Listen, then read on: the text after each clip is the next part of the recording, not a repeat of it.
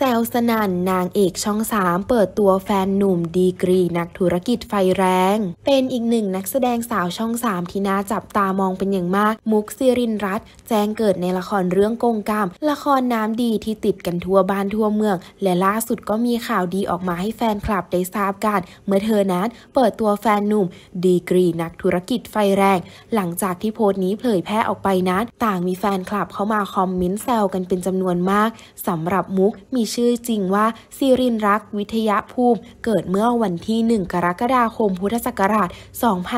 2539 เป็นลูกสาวคนสุดท้องจากพี่น้อง 5 คน จบการศึกษาระดับมัธยมศึกษาจากโรงเรียนสตรีวิทยา และปัจจุบันกำลังศึกษาที่คณะ Business English ที่มหาวิทยาลัยกรุงเทพภาคอินเตอร์ โดยเธอมีเป้าหมายว่า เรียนจบแล้วอยากมีธุรกิจเป็นของตัวเอง